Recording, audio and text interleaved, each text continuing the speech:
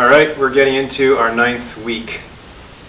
I told you last time that our plan now would be dependent on how I was feeling, and I'm feeling pretty good. This will be uh, our seventh, uh, eighth day of detoxing, and uh, with what I use from Nature Sunshine. Uh, it's very easy, it's twice a day use, and with that I'm trying to cut back on a lot of the bad foods, although I eat pretty well, but I'm uh, trying to maximize on decreasing carbohydrates, um, decreasing total calories per day, and cutting back a bit on exercise. As I mentioned last week, you're going to uh, hold off on taking any further supplements until next time. But uh, the objective, if you can't get a, a, good, sound, nutritional hold of what you're supposed to be eating, or if you're still having cravings, please uh, seek out a registered dietitian near you, and I'll put a link to uh, finding a registered dietitian. Um, otherwise, with regards to activity, as I mentioned, uh, I want you to continue on with some form of exercise, just decrease it by about 20%. 20% uh, decrease in duration, intensity, um, speed, distance, uh, whatever you are doing with your exercises, you still should be continuing some form of movement, but just decrease it while you're uh, limiting your or restricting your diet. The final thing I want you to uh, practice is meditation. Uh, this week, uh, it happens to coincide with the beginning of a new 21-day meditation challenge with the Chopra Center. So I will put a link there. Um, check it out. It's free, and it involves um, listening to Oprah and Deepak talk about a topic for the for the week or for the day. I'm sorry, and then trying to uh, capture that message in the beginning of the day and go back to it all during your day.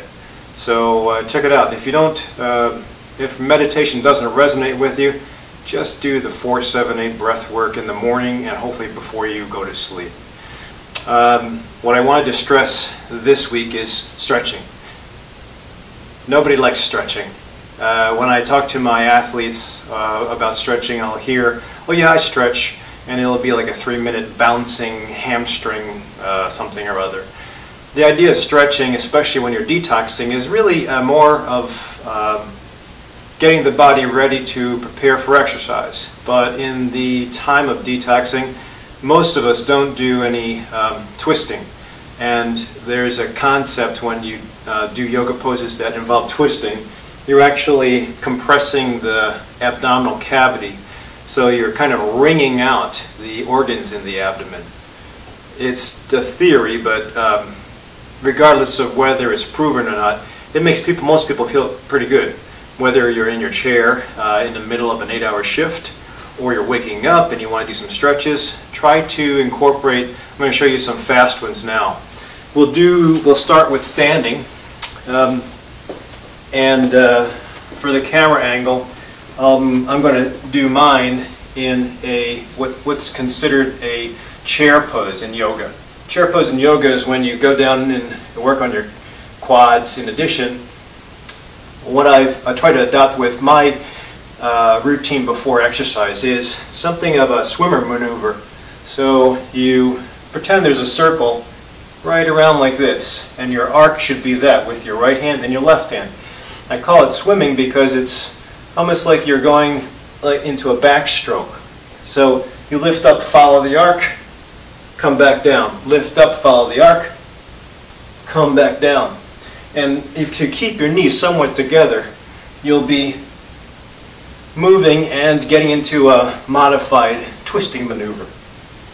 And you will get a little bit of stretching to the low back. You can actually warm up your lumbar spine, your shoulders. You'll be working on your quads and warming them up. And you breathe in unison with the movement. So, inhale, exhale, inhale, exhale, inhale, exhale. And you try to follow the vision path of your hand with your eyes. So you should see line of sight that correlates with your sweeping hand. Okay? So that'll be one. Next, in yoga, we also have something called crescent pose. That's when your heel is up, you're on your toes, knee stays above the ankle. And usually you lift up like this. Always try and keep the legs straight. But in this case, if it's too much for you, you can always drop the knee. The idea in crescent pose is to get into hooking the opposite elbow over the knee, over the knee or on the knee, whatever you can get, and using that as a wedge or a leverage to rotate. Now if you can rotate, you'll actually be able to use your arm and twist. So switch. Again, ball the foot, knee straight, knee above your ankle. First you make sure you're straight up, and then you hook.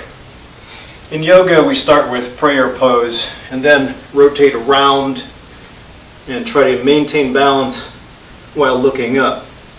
Whatever you decide, don't have to do that, but uh, some of you will start like this, and this is about all we'll get. Some of you can actually hook the elbow and go.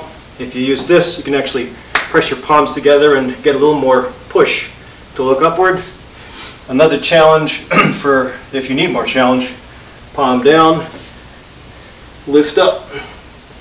And you have to just make sure that you're feeling the stretch in the low back.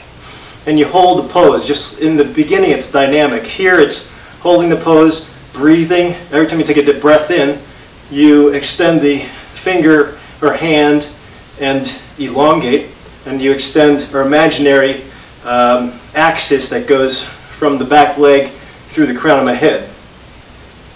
And you breathe every breath out, you try to deepen the pose.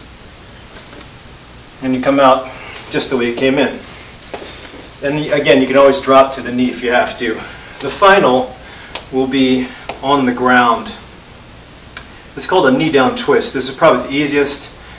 And I have a few videos where I've done um, knee down twist for ITB stretching, IT band stretching. Um, but the ease, essentially, I'm going to lie back now. Essentially, just lay on your back, lower down, bring the knees up, stretch, pull in, and then knee goes to one side, arm and shoulder go to the other side. The objective is to hold the shoulder down and the knee falls wherever it has to fall. The classic is arms apart, but I like to put a little more of a pull into the knee so I again feel it down here. And then just to make it balanced, pull in the knee, drip to the other side, arm goes opposite, shoulder tries to touch.